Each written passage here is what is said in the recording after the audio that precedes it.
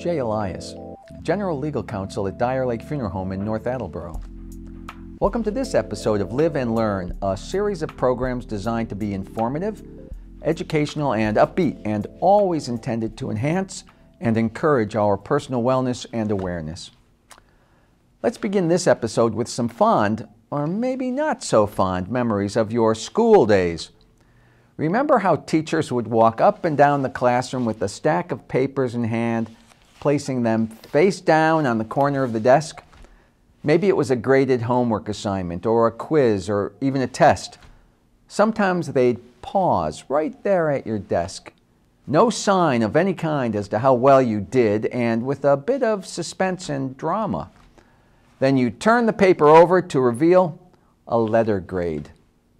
And then there were the report cards, which carried with them a whole different set of anxieties. Recognized as one of the first schools to implement the letter grading system in the late 1800s, Mount Holyoke College in South Hadley, Massachusetts defined their original letter grading scale as A, excellent, B, good, C, fair, D, passed, and E, failed. E, Ever wonder what happened to that E letter grade? Did you ever even see an E? For most of us, it was A, B, C, D, or God forbid, F. Sometimes there might be an S for satisfactory or a U for unsatisfactory. We might also be graded for our effort, but few of us ever saw an E on a quiz or a test or a report card. So, whatever happened to that E letter grade? After Mount Holyoke began using the letter grading scale, it became popular across colleges and high schools alike throughout the country. Soon, though, schools bypassed the letter E and went directly to F, apparently because educators were concerned that students and their parents were mistakenly thinking an E stood for excellent or exceeded expectation. Really? Do you think anyone ever mistook an A for awful or abysmal? Well, either way, the E fell by the wayside and the F replaced it as the most dreaded letter in the alphabet for students of pretty much every age.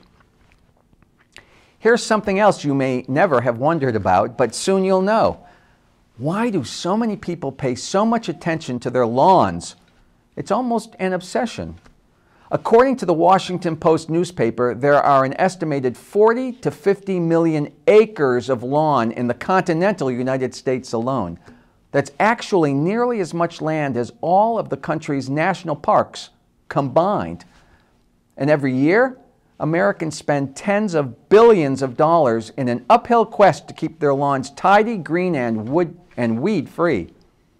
The EPA, the Environmental Protection Agency, reports that maintaining those lawns uses nearly 3 trillion gallons of water a year and about 60 million pounds of pesticides.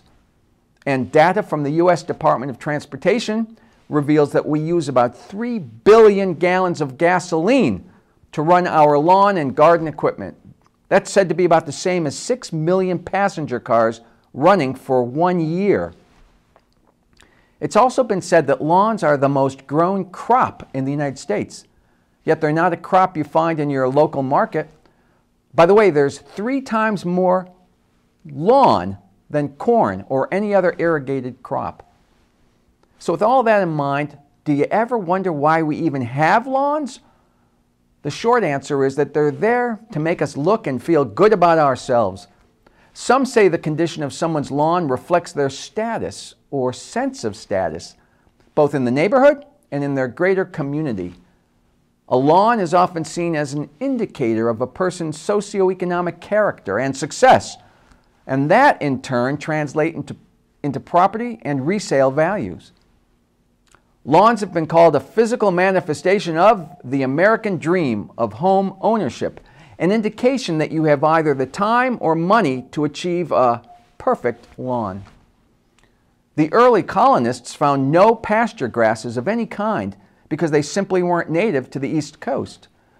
In New England, grasses were mostly annuals like marsh grass with a low nutritional value for grazing animals. The result was that once cattle brought from Europe grazed the land, native grasses disappeared, and many of the animals died of starvation or from eating poisonous plants in desperation after those first winters. Changing gears, did you ever wonder why we're one of a very few countries that don't strictly follow the metric system? In fact, we've doggedly resisted the metric system for hundreds of years. As you know, in the United States, we generally measure distance in inches, feet, yards, and miles, and weight in ounces and pounds. It's referred to as the U.S. customary system. There seems to be a real disconnect between America and almost everywhere else when it comes to the metric system. In fact, there are only three countries in the world that don't use the metric system the US, Myanmar, also known as Burma, and Liberia. Strange bedfellows indeed. So, why is that? You know, if you look at the dashboard of almost any car, you're going to see the speedometer, and that speedometer may say MPH or KPH. Depending upon what country you're in, your travel speed is going to be measured in either kilometers or miles per hour. Take a look at a bottle of water or soda. It may say 10 or 16 ounces, or it may say 1 or 2 liters. And have you noticed that the wine and spirits industry abandoned fifths for 750 milliliter bottles? Your prescription medications provided in milligrams Take a look at those nutritional labels on what you buy at the grocery store, the ones that list information about calories, fat, sodium, and the like. Those labels are in terms of grams and milligrams, and that's the metric system. That local road race, it's called a 5K for a reason. It's five kilometers long. So, why is it that America hasn't fully embraced the metric system? Well, the simple answer is that the overwhelming majority of us and American businesses, we've never wanted to. The gains have always seemed too little, and the goal, well, let's say it's been called too purist for our American ways. The original metric system was developed in France during its revolutionary days, and it really was radically decimal. So much so that it divided the day into 10 hours and our country's first Secretary of State was Thomas Jefferson. He was charged with deciding what set of measures would be best for our young nation. And he rejected the radical metric system because he found it to be too French. And yet, Jefferson had been instrumental in creating the dollar, the first fully decimal measure any nation ever used. By the 1970s, most of the rest of the world, including Great Britain, which had been a holdout of sorts, adopted the metric system so as not to fall behind in the global economy. To keep current with the international economy, it's become necessary for businesses to now use the metric system, at least in part liters, milligrams, milliliters. And here's one for the category of I never really gave it much thought. Did you ever wonder why traffic lights are red, yellow, and green? The idea that red means stop and green means go affects more than just traffic light colors.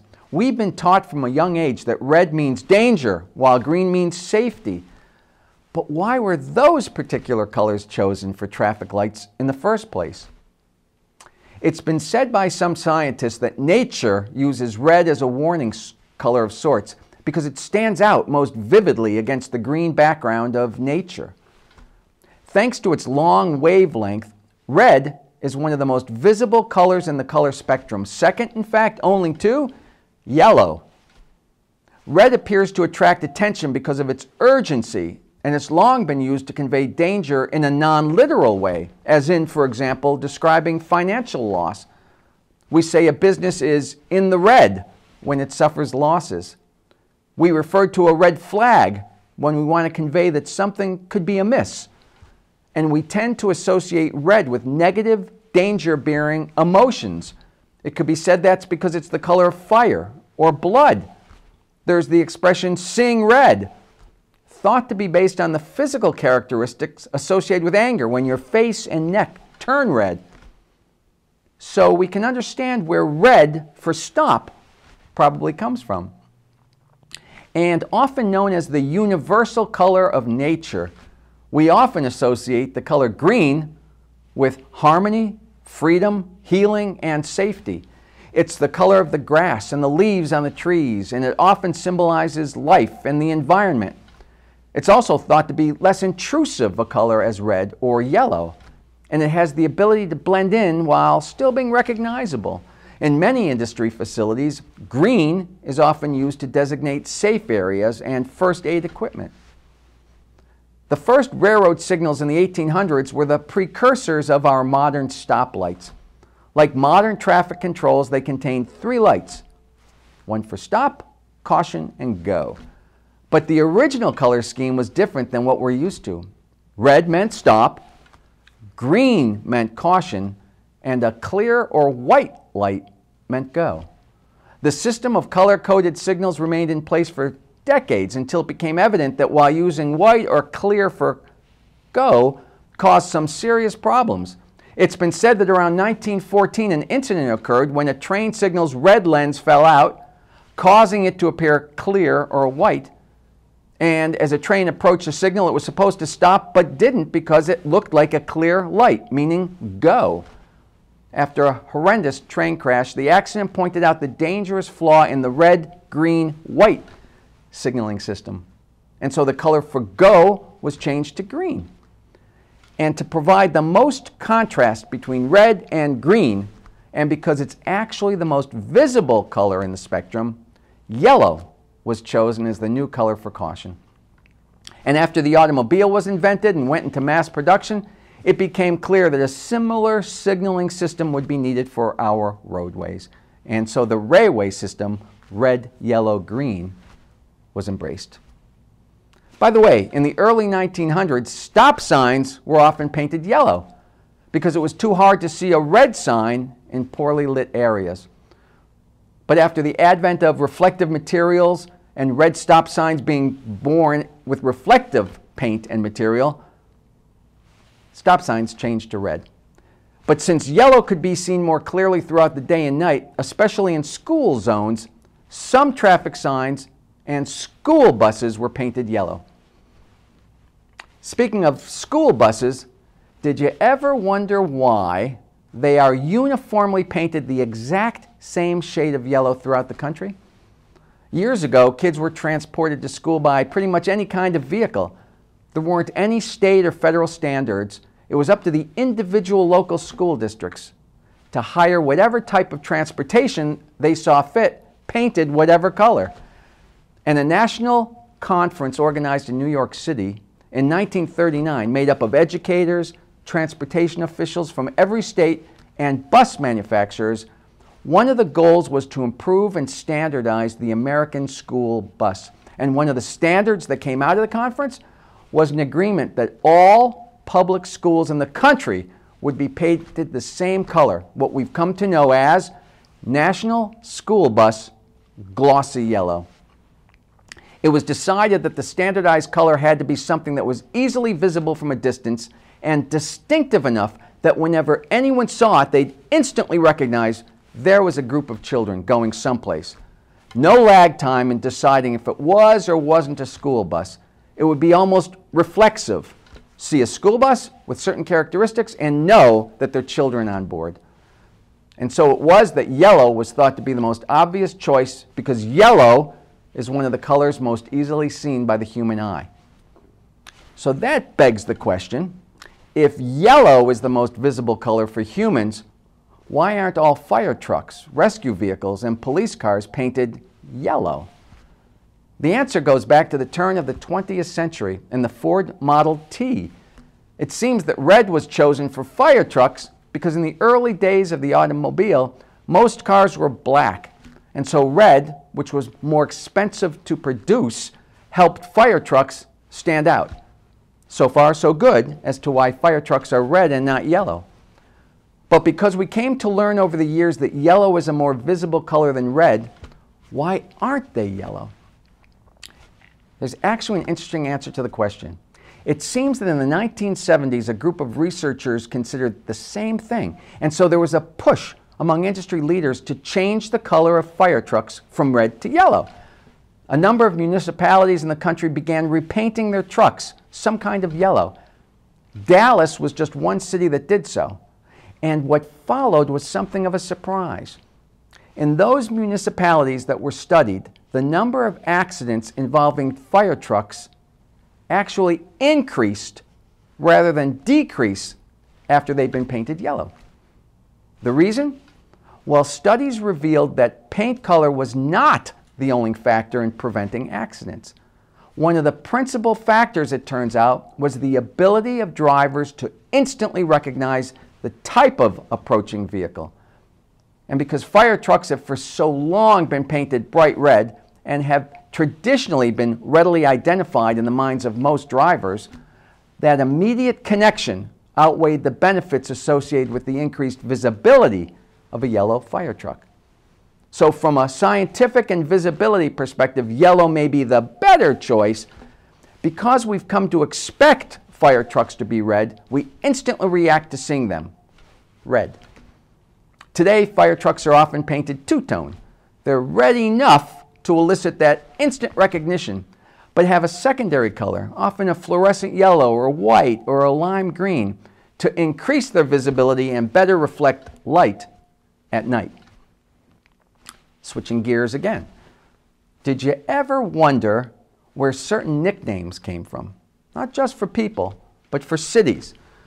There's the City of Light, that's light, not lights.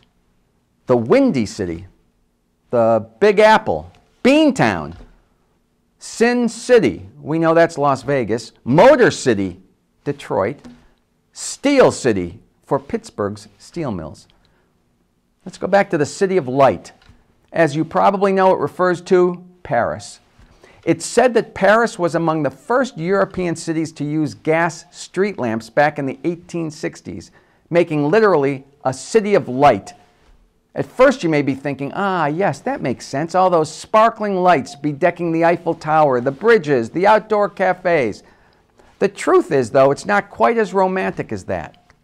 Going back to the late 1600s, when Louis XIV was the King of France, it seems that Paris was not only rife with street crime, it had the highest rate of homicide in all of Europe. So the king appointed a new lieutenant general of police and charged him with responsibility for making Paris safe.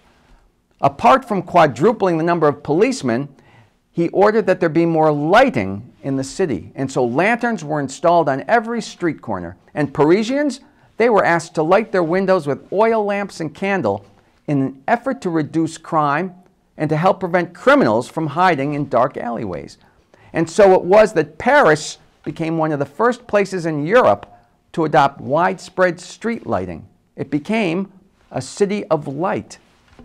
And then it's also said that the name gained greater popularity during the mid to late 1700s, known as the Age of Enlightenment, when Paris became something of an epicenter of ideas and education, inspiring philosophers, poets, scientists, and engineers. Coinciding with this enlightened view of the world was the steady increase in electric power. So it seems there were a multitude of reasons why Paris became known as the City of Light. Here in the United States, if you asked most people what the windy city is, they'd say Chicago. But just as certainly they'd be mistaken as to the reason why. Most people believe it has to do with the blustery, unpredictable weather, probably as a result of the lake effect from Lake Michigan. In fact, though, if you look at a list of the windiest cities in the country, Chicago's nowhere near the top of the list. Boston ranks higher than Chicago. So why the nickname? Well, it seems we can thank politicians and not the weather. It's said that there were a large number of political conventions held in Chicago in the late 1800s, and there were, to put it simply, the location of more than a few long winded politicians filled with hot air who could best be described as windy. And the Big Apple? You'd probably say New York City, and although New York State is one of the top 10 apple producing states in the country, the nickname for New York City has nothing to do with that. Story goes that the expression the Big Apple dates back to the 1920s when a newspaper horse racing reporter used it as a slang term to mean big shot with regard to some of the racetracks in the New York City area that he referred to in his columns. The nickname stuck, and soon the Big Apple was used for pretty much everything having to do with New York City. One last one, closer to home here Boston, Beantown. You can probably guess the origins of this one, and that would be Boston baked beans. Beans and brown bread were long a staple in colonial New England.